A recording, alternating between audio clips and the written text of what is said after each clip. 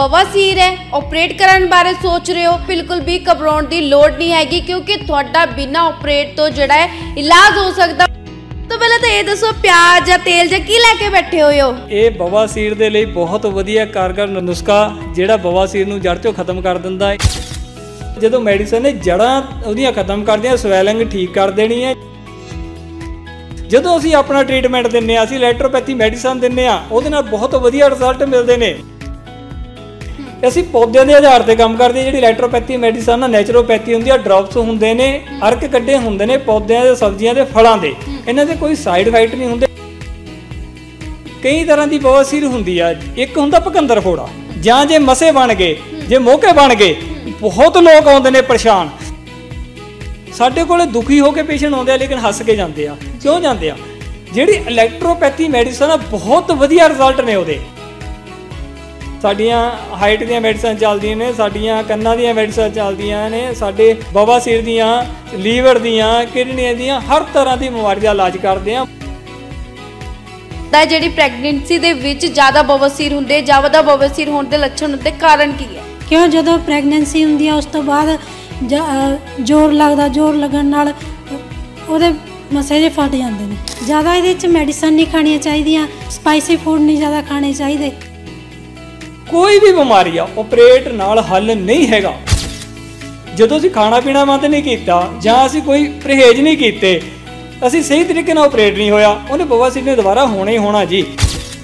ਬਵਾਸੀਰ ਹੋਣ ਦੇ ਲੱਛਣ ਕੀ ਨੇ ਉਹ ਵੀ ਮੈਂ ਤੁਹਾਨੂੰ ਦੱਸ ਦੇਣਾ ਚਾਹੁੰਦਾ ਪਹਿਲਾਂ ਖਾਰਸ਼ ਹੋਊਗੀ ਜਲਨ ਹੋਊਗੀ ਜਿਹੜੀ ਪੋਟੀ ਹੁੰਦੀ ਹੈ ਟੈਟ ਹੋਣੀ ਸ਼ੁਰੂ ਹੋ ਜਾਂਦੀ ਆ। ਜਦੋਂ ਤੁਹਾਨੂੰ ਇਦਾਂ ਦੇ ਲੱਛਣ ਦਿਖਾਈ ਦੇਣ ਤਾਂ ਸਮਝ ਲਓ ਤੁਹਾਨੂੰ ਬਵਾਸੀਰ ਹੋਣੀ ਸ਼ੁਰੂ ਹੋ ਗਈ। ਮਤਲਬ ਦਾਵਾ ਕਰ ਰਹੇ ਹੋ ਤੁਸੀਂ ਇਸ ਚੀਜ਼ ਦਾ ਕਿ ਜਿਹੜੀ ਤੁਹਾਡੀ ਮੈਡੀਸਨ ਹੈ ਬਿਲਕੁਲ ਜੜ ਤੋਂ ਖਤਮ ਕਰ ਦੂਗੀ? ਅਸੀਂ ਮੈਡੀਕਲ ਲੈਣ ਦੇ ਵਿੱਚ ਕੋਸ਼ਿਸ਼ ਕਰ ਸਕਦੇ ਹਾਂ ਅਸੀਂ ਗਾਰੰਟੀ ਨਹੀਂ ਦੇ ਸਕਦੇ। ਜੇ ਅਸੀਂ ਗਾਰੰਟੀ ਦਿੰਨੇ ਆ ਉਹ ਬੰਦਾ ਠੱਗ ਆ ਜੀ। ਜਿਹੜੀ ਅਸੀਂ ਦਾਵਾ ਦਾਵਾ ਨਹੀਂ ਕੋਸ਼ਿਸ਼।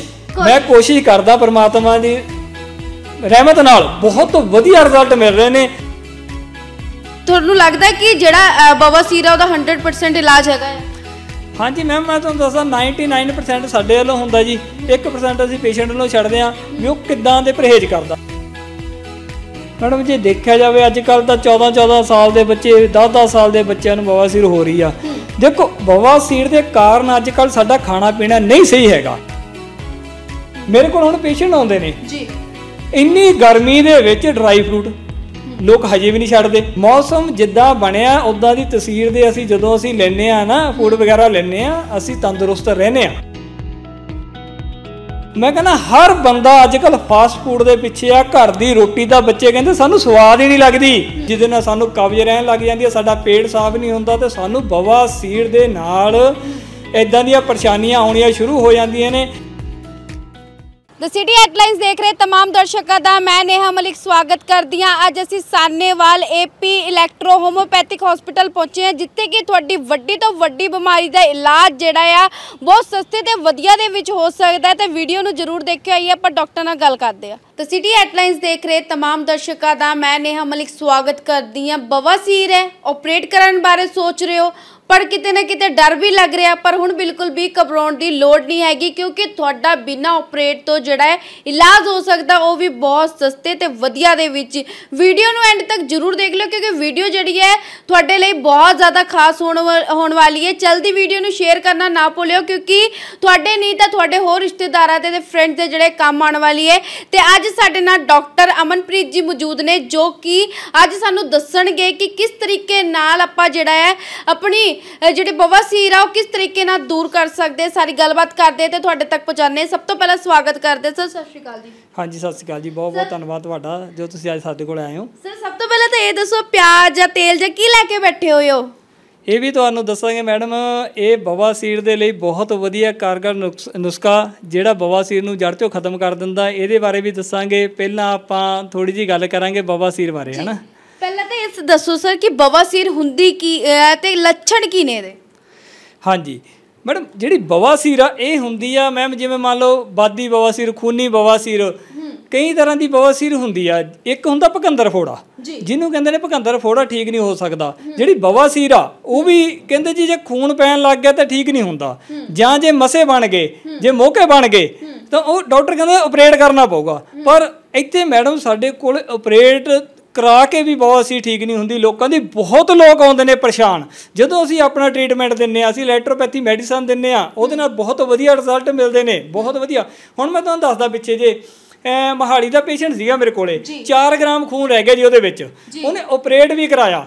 ਤਿੰਨ ਵਾਰ ਆਪਰੇਟ ਕਰਾਇਆ ਜੀ। ਕੋਈ ਇੱਕ ਧਾਗੇ ਵਾਲਾ ਕਹਿੰਦੇ ਆਪਰੇਟ ਕਰਦੇ ਅੰਦਰ ਕੋਈ ਮਸਾ ਹੁੰਦਾ ਕੋਈ ਉਹਨਾਂ ਨੇ ਬਵਾਸੀਰ ਦਾ ਆਪਰੇਟ ਕਰਵਾਇਆ। ਤੇ ਉਹਨੂੰ ਕੋਈ ਵੀ ਆਰਾਮ ਨਹੀਂ ਮਿਲਿਆ। ਬਿਲਕੁਲ ਦੁਖੀ ਹੋ ਚੁੱਕਿਆ ਸੀਗਾ। ਉਹ ਸਾਡੀ ਇੰਟਰਵਿਊ ਸੁਣ ਕੇ ਜਦੋਂ ਸਾਡੇ ਕੋਲੇ ਆਇਆ ਤੇ ਅਸੀਂ ਉਹਨੂੰ ਦੇਖਿਆ ਵੀ ਮੈਂ ਉਹਨੂੰ ਚੈੱਕ ਕੀਤਾ ਤਾਂ ਮੈਂ ਉਹਨੂੰ ਕਿਹਾ ਜੀ, ਜ਼ਿਆਦਾ ਕੋਈ ਪ੍ਰੋਬਲਮ ਤਾਂ ਹੈ ਨਹੀਂਗੀ ਉਹ ਕਹਿੰਦਾ ਜੀ, ਮੇਰੇ ਚ ਖੂਨ ਹੀ 4 ਗ੍ਰਾਮ ਰਹਿ ਗਿਆ। ਮੈਂ ਕੋਈ ਗੱਲ ਨਹੀਂ ਠੀਕ ਕਰ ਦਿੰਨੇ ਆ। ਪਹਿਲੇ ਮਹੀਨੇ ਜੀ ਖੂਨ ਆਉਣਾ ਬੰਦ ਹੋ ਗਿਆ। ਬਿਲਕੁਲ ਬਾਬਾ ਸੀ ਠੀਕ ਆ। ਹੁਣ ਵੀ ਬੰਦਾ ਬੈਠਾ ਜੀ। ਵਧੀਆ ਆਰਾਮ ਮਿਲਿਆ ਹੋਇਆ। ਖੂਨ ਜਿਹੜਾ ਸੀਗਾ, ਹੁਣ 12 ਤੋਂ 13 ਗ੍ਰਾਮ ਖੂਨ ਆ ਉਹਦੇ ਵਿੱਚ। ਖੂਨ ਵੀ ਵਧਣਾ ਸ਼ੁਰੂ ਹੋ ਗਿਆ। ਦੇਖੋ ਕੋਈ ਵੀ ਬਿਮਾਰੀ ਆ ਆਪਰੇਟ ਨਾਲ ਹੱਲ ਨਹੀਂ ਹੈਗਾ। ਆਪਰੇਟ ਦੇ ਵਿੱਚ ਕੀ ਕਰਾਂਗੇ ਅਸੀਂ? ਆਪਰੇਟ ਕਰਤਾ। ਆਪਰੇਟ ਕਰਕੇ ਜਦੋਂ ਅਸੀਂ ਖਾਣਾ ਪੀਣਾ ਬੰਦ ਨਹੀਂ ਕੀਤਾ ਜਾਂ। ਅਸੀਂ ਕੋਈ ਪਰਹੇਜ਼ ਨਹੀਂ ਕੀਤੇ ਅਸੀਂ ਸਹੀ ਤਰੀਕੇ ਨਾਲ ਆਪਰੇਟ ਨਹੀਂ ਹੋਇਆ। ਉਹਨੇ ਬਵਾਸੀਰ ਨੇ ਦੁਬਾਰਾ ਹੋਣਾ ਹੀ ਹੋਣਾ ਜੀ। ਜਿਹੜੀਆਂ ਮੈਡੀਸਨ ਨਾਲ ਬਵਾਸੀਰ ਠੀਕ ਹੁੰਦੀ ਆ ਬਵਾਸੀਰ ਨੇ ਕੀ ਹੈ ਜਦੋਂ ਮੈਡੀਸਨ ਨੇ ਜੜਾਂ ਉਹਦੀਆਂ ਖਤਮ ਕਰਦੀਆਂ ਸਵੈਲਿੰਗ ਠੀਕ ਕਰ ਦੇਣੀ ਹੈ ਜਿਹੜੇ ਅੰਦਰਲੇ ਪਾਸੇ ਅਲਸਰ ਵਗੈਰਾ ਹੋ ਗਏ ਉਹ ਸਾਰਿਆਂ ਨੂੰ ਠੀਕ ਕਰ ਇੰਨਾ ਦਾਵਾ ਕਰਕੇ ਕਿੱਦਾਂ ਕਹਿ ਸਕਦੇ ਹੋ ਇੰਨਾ ਦਾਵਾ ਲੈ ਕੇ ਕਿ ਹਾਂ ਆਪਰੇਟ ਤੋਂ ਬਾਅਦ ਵੀ ਜਿਹੜੀ ਹੈ ਬਵਾਸੀਰ ਠੀਕ ਨਹੀਂ ਹੁੰਦੀ ਕਿਉਂਕਿ ਲਾਸਟ ਸਟੇਜ ਜਿਹੜੀ ਆਪਰੇਟ ਹੀ ਰਹਿ ਜਾਂਦੀ ਹੈ ਤੇ ਲੋਕ ਜਿਹੜੇ ਆਪਰੇਟ ਕਰਾਉਂਦੇ ਨੇ ਆਪਣੀ ਬਵਾਸੀਰ ਠੀਕ ਕਰਾਉਣ ਲਈ। ਮੈਂ ਨਹੀਂ ਕਹਿੰਦਾ ਜੀ ਲੋਕ ਕਹਿੰਦੇ ਆ। ਮੇਰੇ ਕੋਲੇ ਪੇਸ਼ੈਂਟ ਆਉਂਦੇ ਆ ਜਿਹੜੀਆਂ ਮੈਂ ਜਿਹੜੇ ਇਲਾਜ ਕਰ ਰਿਹਾ ਜਿੱਦਾਂ ਦੇ ਮੈਂ ਪੇਸ਼ੈਂਟ ਦੇਖ ਰਿਹਾ ਮੈਂ ਤੁਹਾਨੂੰ ਉਹੀ ਦੱਸ ਰਿਹਾ। ਮੇਰੇ ਕੋਲੇ ਬਹੁਤ ਪੇਸ਼ੈਂਟ ਨੇ। ਜੀ। ਬਾਕੀ ਮੈਂ ਤਾਂ ਇਹ ਕਹੂੰਗਾ ਜੀ ਜਿਹਨੂੰ ਬਵਾਸੀਰ ਆਪਰੇਟ ਕਰਵਾ ਕੇ ਵੀ ਦੁਬਾਰਾ ਹੋਈ ਉਹ ਕਮੈਂਟ ਕਰਕੇ ਜਰੂਰ ਦੱਸਿਓ ਵੀ ਹੋਈ ਆ ਕਿ ਨਹੀਂ ਹੋਈ। ਕਿੰਨੀ ਵਾਰ ਆਪਰੇਟ ਕਰਵਾਇਆ? ਤੁਹਾਨੂੰ ਆਪੇ ਪਤਾ ਲੱਗ ਜਾਣਾ।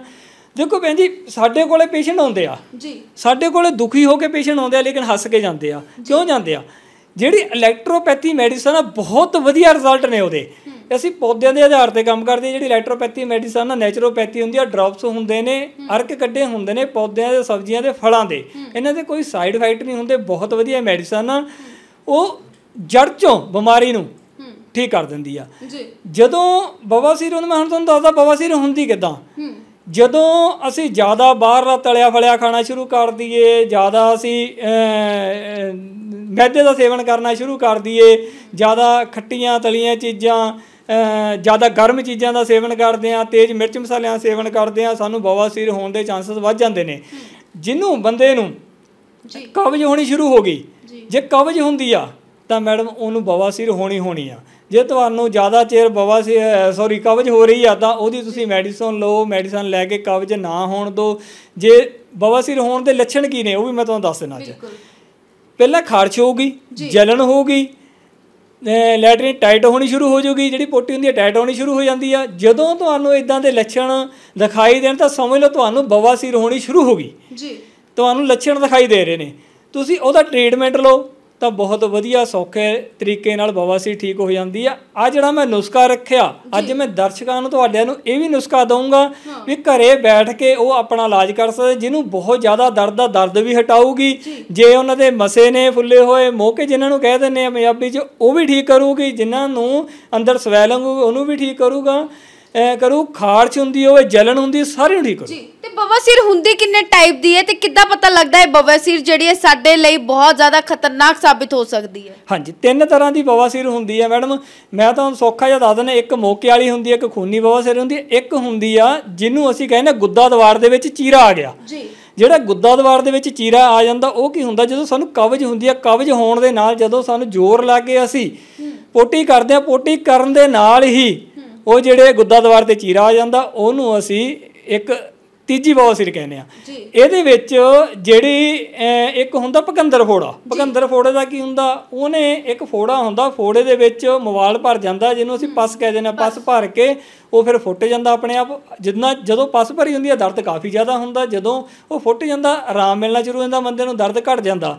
ਲੇਕਿਨ ਉਹ ਆਪਰੇਟ ਨਾਲ ਵੀ ਨਹੀਂ ਸਹੀ ਹੁੰਦਾ। ਕਿਉਂ ਨਹੀਂ ਹੁੰਦਾ? ਉਹ ਬਹੁਤ ਡੂੰਘਾ ਗਿਆ ਹੁੰਦਾ ਜਿਹੜੀ ਥੱਲੇ ਨਸ ਹੁੰਦੀ ਹੈ ਨਸ ਨੂੰ ਜਾ ਕੇ ਲੱਗ ਜਾਂਦਾ ਤਾਂ ਉਹਦੇ ਵਿੱਚ ਕੈਂਸਰ ਹੋਣ ਦੇ ਡਰ ਹੋ ਜਾਂਦੇ ਨੇ। ਮੈਡਮ ਜੀ ਅਸੀਂ ਉਹਨੂੰ ਨਹੀਂ ਸਹੀ ਤਰੀਕੇ ਨਾਲ ਇਲਾਜ ਕਰਦੇ। ਤਾਂ ਕਰਕੇ ਜਿਹੜੀਆਂ ਸਾਡੀਆਂ ਮੈਡੀਸਨ ਨੇ ਭਕੰਦਰ ਫੋੜੇ ਨੂੰ ਤਿੰਨੇ ਬਵਾਸੀਰਾਂ ਨੂੰ ਬਿਲਕੁਲ ਜੜ ਚੋਂ ਖਤਮ ਕਰ ਦਿੰਦੀ ਹੈ ਜੀ। ਤੁਹਾਡੇ ਮਤਲਬ ਦਾਵਾ ਕਰ ਰਹੇ ਹੋ ਤੁਸੀਂ ਇਸ ਚੀਜ਼ ਦਾ ਕਿ ਜਿਹੜੀ ਤੁਹਾਡੀ ਮੈਡੀਸਨ ਆ ਬਿਲਕੁਲ ਜੜ ਤੋਂ ਖਤਮ ਕਰ ਦੂਗੀ? ਮੈਡਮ ਦੇਖੋ ਦਾਵਾ ਇੱਕ ਤੇ ਮੈਂ ਹੋਰ ਤੁਹਾਨੂੰ ਇੱਕ ਗੱਲ ਦੱਸਾਂ ਬਹੁਤ ਬੈਠੇ ਆ ਜੀ ਫੇਸਬੁੱਕ ਤੇ YouTube ਤੇ ਬਹੁਤ ਬੈਠੇ ਆ ਦਾਅਵੇ ਕਰਨ ਵਾਲੇ। ਜੀ। ਅਸੀਂ ਮੈਡੀਕਲ ਲੈਣ ਦੇ ਵਿੱਚ ਕੋਸ਼ਿਸ਼ ਕਰ ਸਕਦੇ ਹਾਂ ਅਸੀਂ ਗਾਰੰਟੀ ਨਹੀਂ ਦੇ ਸਕਦੇ। ਹੂੰ। ਜੇ ਅਸੀਂ ਗਾਰੰਟੀ ਦਿੰਨੇ ਆ ਉਹ ਬੰਦਾ ਠੱਗ ਆ ਜੀ। ਜੀ। ਗਾਰੰਟੀ ਕਦੇ ਨਹੀਂ ਦੇਣੀ ਜੀ ਕੋਸ਼ਿਸ਼ ਕਰਦੇ ਆ ਸਾਡੇ ਅਸੀਂ ਦੇਖੋ ਸੱਚੇ ਮਨ ਨਾਲ ਲਗਨ ਨਾਲ ਪਰਮਾਤਮਾ ਦਾ ਨਾਮ ਲੈ ਕੇ ਕੰਮ ਕਰਦੇ ਆ ਅਸੀਂ ਕੋਈ ਵੀ ਡਾਕਟਰ ਇਦਾਂ ਨਹੀਂ ਕਹੂਗਾ ਵੀ ਸਾਡਾ ਪੇਸ਼ੈਂਟ ਠੀਕ ਨਾ ਹੋਵੇ ਸਾਡਾ ਪੇਸ਼ੈਂਟ ਜੇ ਠੀਕ ਹੋਊਗਾ ਸਾਡੇ ਕੋਲ ਤਾਂ ਹੀ ਆਊਗਾ। ਠੀਕ ਹੈ ਨਾ ਮੈਡਮ? ਜਿਹੜੀ ਅਸੀਂ ਦਾਵਾ ਦਾਵਾ ਨਹੀਂ ਕੋਸ਼ਿਸ਼। ਮੈਂ ਕੋਸ਼ਿਸ਼ ਕਰਦਾ ਪਰਮਾਤਮਾ ਦੀ ਰਹਿਮਤ ਨਾਲ ਬਹੁਤ ਵਧੀਆ ਰਿਜ਼ਲਟ ਮਿਲ ਰਹੇ ਨੇ ਬਹੁਤ ਵਧੀਆ ਇਹ ਨਹੀਂ ਇਕੱਲੇ ਬਵਾਸੀਰ ਤੋਂ ਬਹੁਤ ਬਿਮਾਰੀਆਂ ਦਾ ਰਿਜ਼ਲਟ ਵਧੀਆ ਲੈ ਰਹੇ ਆ।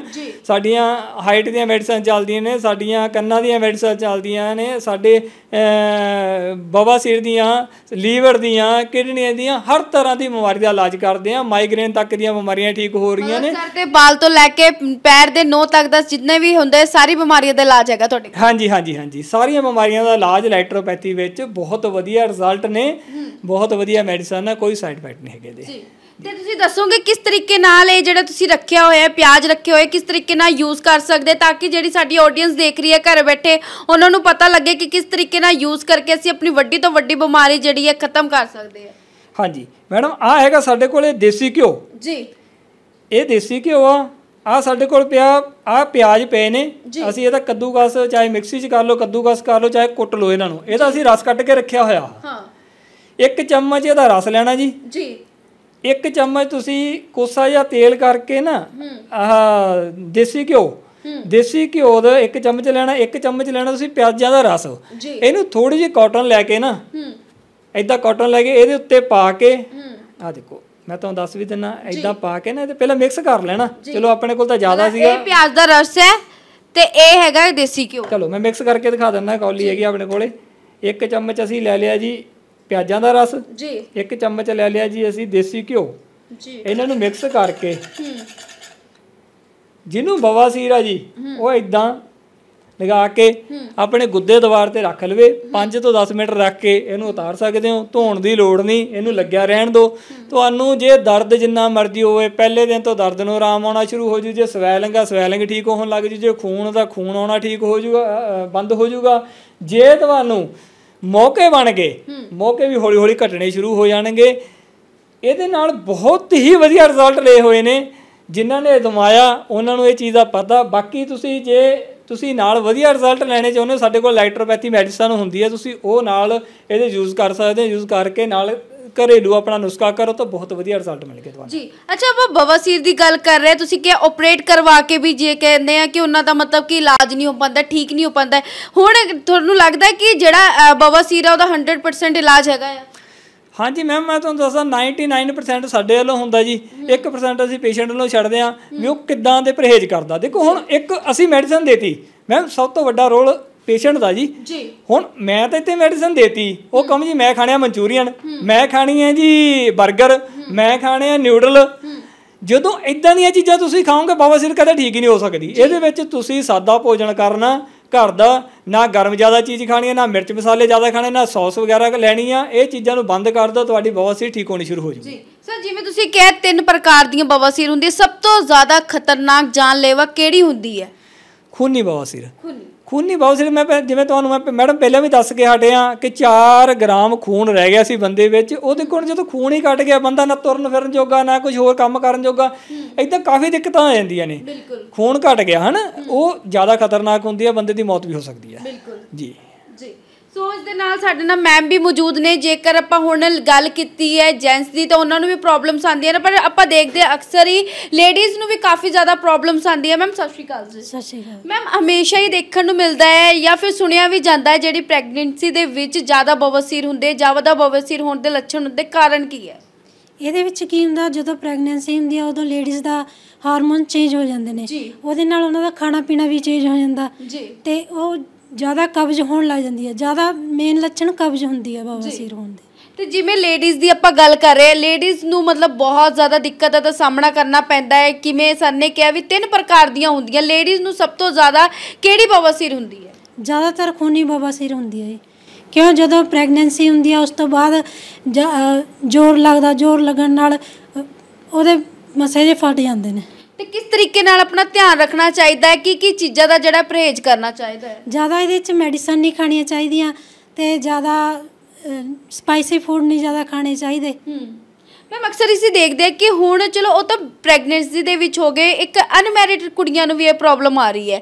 ਕੀ ਲੱਗਦਾ ਖਾਣ ਪੀਣ ਕਰਕੇ ਆ ਰਹੀ ਹੈ ਤੇ ਕੀ ਕਾਰਨ ਲੱਗਦਾ ਇਹਦਾ? ਜ਼ਿਆਦਾ ਖਾਣ ਪੀਣ ਨਾਲ ਸਟ੍ਰੈਸ ਨਾਲ ਜ਼ਿਆਦਾ ਉਹਨਾਂ ਨੇ ਜਾਂ ਸਵੇਰੇ ਇੱਦਾਂ ਹੀ ਚਲੇ ਜਾਣਾ ਕਿਉਂਕਿ ਅੱਜ ਕੱਲ ਜ਼ਿਆਦਾ ਜੌਬ ਕਰਦੇ ਨੇ ਬੱਚੇ। ਜੀ। ਖਾਣ ਪੀਣ ਦਾ ਬਹੁਤ ਜ਼ਿਆਦਾ ਅਸਰ ਹੁੰਦਾ ਹੈ। ਖਾਣ ਪੀਣ ਦਾ ਬਹੁਤ ਜ਼ਿਆਦਾ ਅਸਰ ਹੁੰਦਾ ਤੇ ਮੈਮ ਜਿਵੇਂ ਕਿਹਾ ਕਿ ਜਿਹੜੇ ਮੱਸੇ ਵਾਲੀ ਬਵਾਸੀਰ ਹੁੰਦੀ ਹੈ ਉਹ ਕਿੱਦਾਂ ਬਣਦੀ ਹੈ? ਕੀ ਉਹਦੇ ਲੱਛਣ ਹੁੰਦੇ? ਇੱਕ ਵਾਰੀ ਦੱਸੋਗੇ? ਇਹ ਜ਼ਿਆਦਾਤਰ ਸੋਜ ਆਉਣ ਨਾਲ ਹੀ ਬਣਦੇ ਨੇ ਜੀ। ਸੋਚ ਆਣ ਨਾਲ। ਤੇ ਜਿਸ ਤਰੀਕੇ ਨਾਲ ਮਤਲਬ ਕਿ ਹਰ ਕਿਸੇ ਨੂੰ ਮਤਲਬ ਦਿੱਕਤਾਂ ਦਾ ਸਾਹਮਣਾ ਕਰਨਾ ਪੈਂਦਾ ਹੈ। ਹਾਂਜੀ ਹਾਂਜੀ। ਸਰ ਮੈਮ ਨਾਲ ਆਪਾਂ ਗੱਲ ਕਰ ਲਈਏ ਕਿ ਜਿਹੜੀ ਬਵਾਸੀਰ ਹੁੰਦੀ ਹੈ ਪ੍ਰੈਗਨੈਂਸੀ ਦੇ ਵਿੱਚ ਜ਼ਿਆਦਾ ਹੁੰਦੀ ਹੈ ਲੇਡੀਜ਼ ਨੂੰ ਬਹੁਤ ਜ਼ਿਆਦਾ ਹੋ ਰਹੀ ਹੈ। ਕਿਹੜੀ, ਕਿੰਨੀ ਕੁ ਉਮਰ ਦੇ ਬੱਚੇ ਨੇ ਜਾਂ ਫਿਰ ਨੌਜਵਾਨ ਨੇ ਜਿਹੜੇ ਕਿ ਤੁਹਾਡੇ ਕੋਲ ਆਉਂਦੇ ਨੇ ਆਪਣੀ ਬਿਮਾਰੀ ਨੂੰ ਲੈ ਕੇ? ਮੈਡਮ ਜੇ ਦੇਖਿਆ ਜਾਵੇ ਅੱਜ ਕੱਲ ਤਾਂ 14 14 ਸਾਲ ਦੇ ਬੱਚੇ 10 10 ਸਾਲ ਦੇ ਬੱਚਿਆਂ ਨੂੰ ਬਵਾਸੀਰ ਹੋ ਰਹੀ ਆ। ਦੇਖੋ ਬਵਾਸੀਰ ਦੇ ਕਾਰਨ ਅੱਜ ਕੱਲ ਸਾਡਾ ਖਾਣਾ ਪੀਣਾ ਨਹੀਂ ਸਹੀ ਹੈਗਾ। ਤੁਸੀਂ ਹਰ ਇੱਕ ਬੰਦਾ ਰੇੜੀ ਤੇ ਖੜਾ ਮਿਲੂਗਾ ਤੁਹਾਨੂੰ ਸ਼ਾਮ ਨੂੰ ਚੱਲਦਾ ਕੋਈ ਗੋਲ ਗੱਪੇ ਖਾਂਦਾ ਕੋਈ ਮਨਚੂਰੀਅਨ ਖਾਂਦਾ ਕੋਈ 버ਗਰ ਖਾਂਦਾ ਕੋਈ ਪੀਜ਼ੇ ਖਾਂਦਾ ਕੋਈ ਨਿਊਡਲਸ ਖਾਂਦਾ। ਮੈਂ ਕਹਿੰਦਾ ਹਰ ਬੰਦਾ ਅੱਜ ਕੱਲ ਫਾਸਟ ਫੂਡ ਦੇ ਪਿੱਛੇ ਆ ਘਰ ਦੀ ਰੋਟੀ ਦਾ ਬੱਚੇ ਕਹਿੰਦੇ ਸਾਨੂੰ ਸਵਾਦ ਹੀ ਨਹੀਂ ਲੱਗਦੀ। ਉਹ ਮਾਂ ਪਿਓ ਆ ਕੇ ਸਾਨੂੰ ਦੱਸਦੇ ਆ ਕਹਿੰਦੇ ਜੀ ਰੋਟੀ ਤਾਂ ਖਾਂਦੇ ਹੀ ਨਹੀਂ। ਜੇ ਕਹਿ ਦਈਏ ਖਾ ਲਓ ਜੇ ਕਹਿ ਦਈਏ ਸਲਾਦ ਖਾ ਲਓ ਨਹੀਂ ਖਾਣਾ। ਜੇ ਕਹਿ ਦਈਏ ਦੁੱਧ ਪੀ ਲਓ ਨਹੀਂ ਪੀਣਾ ਪਨੀਰ ਖਾ ਲਓ ਨਹੀਂ ਖਾਣਾ। ਜੇ ਫਰੂਟ ਕਹਿ ਦੋ ਜੂਸ ਕਹਿ ਦੋ ਨਹੀਂ ਪੀਣਾ। ਕਹਿੰਦੇ ਵਧੀਆ ਨਹੀਂ ਲੱਗਦਾ। ਕੀ ਚਾਹੀਦਾ ਪੀਜ਼ਾ ਕੀ ਚਾਹੀਦਾ ਨਿਊਡਲ ਚਾਹੀਦਾ ਸਾਨੂੰ?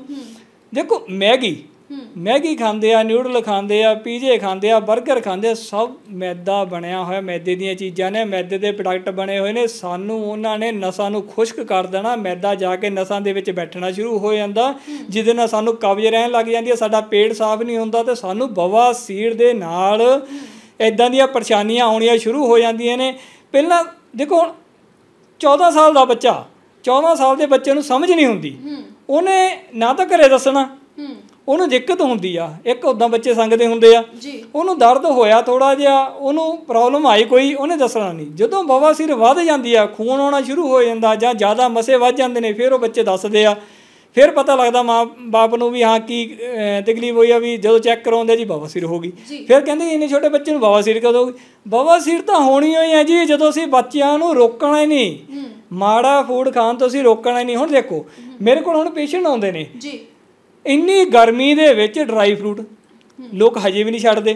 ਦੇਖੋ ਤਾਕਤ ਵਾਲੀ ਚੀਜ਼ ਹੈਗੀ ਆ ਮੌਸਮ ਦੇ ਹਿਸਾਬ ਨਾਲ ਹਰ ਚੀਜ਼ ਚੱਲਦੀ ਹੈ। ਜੇ ਤੁਸੀਂ ਕਹੋ ਜੀ ਅਸੀਂ ਗਰਮੀ ਦੇ ਵਿੱਚ ਵੀ ਗਰਮ ਫੂਡ ਖਾਵਾਂਗੇ ਅਸੀਂ ਕੋਈ ਚੀਜ਼ ਇਦਾਂ ਦੀ ਖਾਵਾਂਗੇ ਤਾਂ ਸਾਨੂੰ ਬਿਮਾਰੀਆਂ ਨੇ ਘੇਰਨਾ ਹੀ ਘੇਰਨਾ ਜੀ।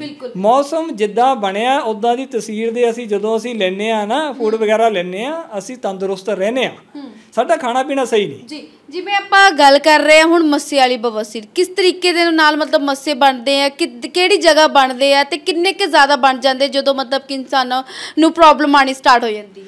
ਪਹਿਲਾਂ ਇੱਕ ਮਸਾ ਬਣਦਾ ਹੀ ਇੱਕ ਮਸੇ ਤੋਂ ਵਧਣੇ ਸ਼ੁਰੂ ਹੋ ਜਾਂਦੇ ਆ, ਪੋਟੀ ਵਾਲੀ ਜਗ੍ਹਾ ਤੇ ਮਸੇ ਹੁੰਦੇ ਆ, ਜਦੋਂ ਅਸੀਂ ਕਬਜ਼ ਹੋ ਜਾਂਦੀ ਆ, ਜਿਹੜਾ ਤਾਂ ਪੇਟ ਸਾਫ਼ ਰੱਖਦਾ, ਕਬਜ਼ ਨਹੀਂ ਹੁੰਦੀ, ਉਹਨੂੰ ਉਹਨਾਂ ਚਿਰ ਆਰਾਮ ਮਿਲੂਗਾ, ਚਾਹੇ ਮਸਾ ਵੀ ਹੋ ਗਿਆ, ਦਰਦ ਨਹੀਂ ਹੋਊਗਾ। ਜਦੋਂ ਤੁਹਾਨੂੰ ਜਿੱਦਣ ਕਬਜ਼ ਹੋ ਗਈ, ਮਸਾ ਛਿੱਲਿਆ ਜਾਣਾ, ਤੁਹਾਨੂੰ ਦਰਦ ਹੋਣਾ ਸ਼ੁਰੂ ਹੋ ਜਾਣਾ, ਕਈ ਵਾਰ ਬਲੀਡਿੰਗ ਵੀ ਹੋ ਜਾਂਦੀ ਆ। ਇਹਦੇ ਕਰਕੇ ਤੁਸੀਂ ਕਬਜ਼ ਨਾ ਹੋਣ ਦੋ, ਪੇਟ ਸਾਫ਼ ਰੱਖੋ ਆਪਣਾ, ਤਾਂ ਤੁਹਾਨੂੰ ਇਦਾਂ ਦੀਆਂ ਪ੍ਰੋਬਲਮਸ ਨਹੀਂ ਆਣਗੀਆਂ ਜੀ। ਤੇ ਆਪਾਂ ਫੋੜੇ ਵਾਲੀ ਦੀ ਗੱਲ ਕਰੀਏ ਤੇ ਫੋੜੇ ਦੇ ਵਿੱਚ ਕਿਸ ਕਿਸ ਤਰੀਕੇ ਨਾਲ ਬਣਦਾ ਹੈ ਤੇ ਕੀ ਕਾਰਨ ਬਣਦਾ ਹੈ ਤੇ ਕਿਹੜੀ ਜਗ੍ਹਾ ਬਣਦਾ ਉਹ ਵੀ? ਉਹ ਪੋਟੀ ਵਾਲੀ ਜਗ੍ਹਾ ਤੋਂ ਅੱਧਾ ਇੰਚ ਜਾਂ ਇੰਚ ਦੀ ਜਗ੍ਹਾ ਛੱਡ ਕੇ ਜਿਹੜਾ ਭਕੰਦਰ ਫੋੜਾ ਹੁੰਦਾ ਉਹ ਬਣਦਾ। ਜੀ। ਜਿਹਦੇ ਕਰਕੇ ਅਗਲੇ ਨੂੰ ਕਈ ਵਾਰ ਸਮਝ ਨਹੀਂ ਹੁੰਦੀ ਅਗਲਾ ਕਹਿੰਦੇ ਕੋਈ ਫਿੰਸੀ ਨਿਕਲ ਆਈ ਛੋਟੀ ਜੀ ਫਿੰਸੀ ਨਿਕਲ ਆਈ ਵੀ ਉਦਾਂ ਹੀ ਹੋਣੀ ਹਟ ਜੂਗੀ। ਲੇਕਿਨ ਉਹ ਹੌਲੀ ਹੌਲੀ ਵਧਦੀ ਵਧਦੀ ਵਧਦੀ ਵਧਦੀ ਉਹਦੇ ਅੰਦਰ ਪਸ ਭਰਨੀ ਸ਼ੁਰੂ ਹੋ ਜਾਂਦੀ ਹੈ ਦਰਦ ਸ਼ੁਰੂ ਹੋ ਜਾਂਦਾ। ਜਦੋਂ ਜਾ ਕੇ ਡਾਕਟਰ ਕੋਲ ਚੈੱਕ ਕਰਾਉਂਦਾ ਡਾਕਟਰ ਕਹਿੰਦਾ ਇਹ ਤਾਂ ਭਕੰਦਰ ਫੋੜਾ ਹੋ ਗਿਆ। ਜੀ। ਇਹ ਤਾਂ ਹੁਣ ਤੈਨੂੰ ਆਪਰੇਟ ਕਰਾਉਣਾ ਪਊਗਾ। ਅਗਲਾ ਕਹਿੰਦਾ ਜੀ ਚਲੋ ਕੋਈ ਗੱਲ ਨਹੀਂ ਆਪਰੇਟ ਨਾ ਕਰਾਈਏ। ਪਹਿਲਾਂ ਆਪਾਂ ਐਲੋਪੈਥੀ ਮੈਡੀਸਨ ਲਈ ਜਾਂਦੇ ਐਲੋਪੈਥੀ ਮੈਡੀਸਨ ਲੈਂਦੇ ਆ ਕੋਈ ਜਿਵੇਂ ਮੰਨ ਲਓ ਕੋਈ ਇਦਾਂ ਦੀਆਂ ਗੋਲੀਆਂ ਕੋਈ ਐਂਟੀਬਾਇਓਟਿਕ ਵਗੈਰਾ ਲੈਣ ਲੱਗ ਜਾਂਦੇ ਆ। ਉਹ ਐਂਟੀਬਾਇਓਟਿਕ ਲੈਣ ਨਾਲ ਕੀ ਆ? ਅੰਦਰ ਦੀ ਅੰਦਰ ਹੋਰ ਜ਼ਿਆਦਾ ਖਰਾਬ ਹੋਣਾ ਸ਼ੁਰੂ ਹੋ ਜਾਂਦਾ। ਕਿਉਂ? ਜਿਹੜਾ ਪਕੰਦਰ ਫੋੜਾ ਹੁੰਦਾ ਕਦੇ ਵੀ ਐਂਟੀਬਾਇਓਟਿਕ ਨਾਲ ਨਹੀਂ ਸੁੱਕਦਾ ਉਹ। ਉਹ ਵੱਧਦਾ ਜਾਂਦਾ। ਆਪਾਂ ਦੇਖਦੇ ਆ ਕਿ ਜਿਹੜੇ ਕਿ ਆਪਾਂ ਲੈ ਰਹੇ ਆ ਐਲੋਪੈਥਿਕ ਦਵਾਈ ਲੈ ਰਹੇ ਆ ਜਾਂ ਫਿਰ ਆਪਾਂ ਲੈ ਰਹੇ ਆ ਆਯੁਰਵੈਦਿਕ ਲੈ ਕਿਤੇ ਨਾ ਕਿਤੇ ਸਾਈਡ ਇਫੈਕਟ ਵੀ ਹੋ ਜਾਂਦੇ। ਤੁਹਾਡੀ ਮੈਡੀਸਿਨ ਦਾ ਕੋਈ ਸਾਈਡ ਇਫੈਕਟ ਹੈਗਾ? ਨਹੀਂ ਇਹ ਜਿਹੜੀ ਨੈਚੁਰੋਪੈਥੀ ਆ ਪੌਦਿਆਂ ਦੇ ਆਧਾਰ ਤੇ ਮੈਡੀਸਨ ਆ ਪੌਦਿਆਂ ਤੋਂ ਫੁੱਲਾਂ ਤੋਂ ਸਬਜ਼ੀਆਂ ਤੋਂ ਤਿਆਰ ਕੀਤੀ ਹੋਈ ਮੈਡੀਸਨ ਆ ਇਹਨਾਂ ਦੇ ਅਰਕ ਕੱਢੇ ਹੁੰਦੇ ਆ ਇਹਨਾਂ ਦੇ ਕੋਈ ਵੀ ਸਾਈਡ ਇਫੈਕਟ ਨਹੀਂ ਹੁੰਦੇ। ਕੋਈ ਸਾਈਡ ਇਫੈਕਟ ਨਹੀਂ ਜੇਕਰ ਕੋਈ ਵੀ ਆਪਣੀ ਪ੍ਰੋਬਲਮ ਲੈ ਕੇ ਆ ਰਿਹਾ ਤੁਸੀਂ ਉਹਦਾ ਜਿਹੜਾ ਸਮਾਧਾਨ ਹੈ 100% ਕੱਢ ਕੇ ਦੋਗੇ ਹਾਂਜੀ 99% 1% ਪੇਸ਼ੈਂਟ ਵੱਲੋਂ। ਇੱਕ ਕੁਐਸਚਨ ਅੱਛਾ ਜੇਕਰ ਇੱਥੇ ਕਿਸੇ ਨੇ ਆਣਾ ਹੋਵੇ ਵਿਜ਼ਿਟ ਕਰਨਾ ਹੋਵੇ ਆਪਣੀ ਪ੍ਰੋਬਲਮ ਨੂੰ ਲੈ ਕੇ ਆਣਾ ਹੋਵੇ ਤਾਂ ਤੁਸੀਂ ਆਪਣਾ ਐਡਰੈਸ ਜਿਹੜਾ ਹੈ ਸਾਂਝਾ ਕਰ ਦੋਗੇ ਇੱਥੇ ਤੇ ਫੋਨ ਨੰਬਰ ਵੀ। ਹਾਂਜੀ। AP electro homeopathy hospital Ramgarh road near Anant Vihar colony ਸਵੇਰੇ 10 ਤੋਂ 5 ਵਜੇ ਤੱਕ ਵੀਰਵਾਰ ਦੀ ਛੁੱਟੀ ਸੰਡੇ 10 ਤੋਂ 3 ਵਜੇ ਤੱਕ ਸਾਡੇ ਕੰਟੈਕਟ ਨੰਬਰ ਹੈਗਾ 78146 99434 99151 ਦੋਨਾਂ ਤੇ ਕਿਸੇ ਤੇ ਵੀ ਤੁਸੀਂ ਗੱਲ ਕਰਕੇ ਸਾਡੇ ਤੋਂ ਅਪਾਇੰਟਮੈਂਟ ਲੈ ਕੇ ਸਾਨੂੰ ਮਿਲ ਸਕਦੇ ਹੋ। ਜੀ ਅੱਛਾ ਕਈ ਵਾਰੀ ਇਦਾਂ ਹੁੰਦਾ ਨੰਬਰ ਤਾਂ ਦੇ ਦਿੰਨੇ ਆ, ਪਰ ਫੋਨ ਨਹੀਂ ਚੱਕਦੇ। ਕਿਤੇ ਨਾ ਕਿਤੇ ਉਹਨਾਂ ਨੂੰ ਜਿਹੜੇ ਪੇਸ਼ੈਂਟਸ ਹੁੰਦੇ ਨੇ ਉਹਨਾਂ ਨੂੰ ਬਹੁਤ ਜ਼ਿਆਦਾ ਨੀਮਾ ਦੇਖਣਾ ਪੈਂਦਾ ਫੋਨ ਨਹੀਂ ਚੱਕਿਆ ਜਾਂਦਾ। ਕਈ ਵਾਰੀ ਲੋਕਾਂ ਨੂੰ ਲੱਗਦਾ ਕਿ ਫੋਨ ਨਹੀਂ ਚੱਕ ਰਹੇ ਤਾਂ ਫੇਕ ਵੀ ਹੋ ਸਕਦਾ। ਤੁਸੀਂ ਫੋਨ ਚੱਕੋਗੇ? ਦੇਖੋ ਮੈਡਮ ਐਡੇ ਵੱਡੇ ਚੈਨਲ ਤੇ ਵੀਡੀਓ ਪਈ ਹੋਈ ਕਦੇ ਫੇਕ ਨਹੀਂ ਹੁੰਦੀ। ਪਹਿਲਾਂ ਤਾਂ ਮੈਂ ਤੁਹਾਨੂੰ ਇਹ ਦੱਸਾਂ।